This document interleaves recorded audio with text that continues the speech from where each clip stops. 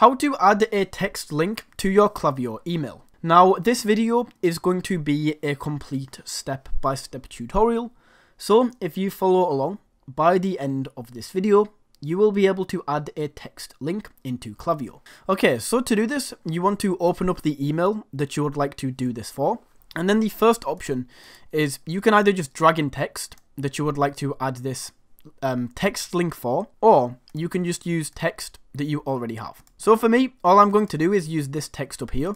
So all you need to do is click on the text that you would like to add the link for. And once the text section has been highlighted, you will notice it's going to open up a menu on this left hand side. Once this menu opens up on the left hand side, first of all, you want to select the word, or you can select the entire thing if you would like to link this. Once that has been highlighted, click on link at the top, and then find the thing that you would like to link. So if I paste that in there and click link, that is now linked to YouTube. So if I preview and test this, and then go ahead and click on this text, you can see that is going to take me over to YouTube, and that is how you can add a text link into your Klaviyo email.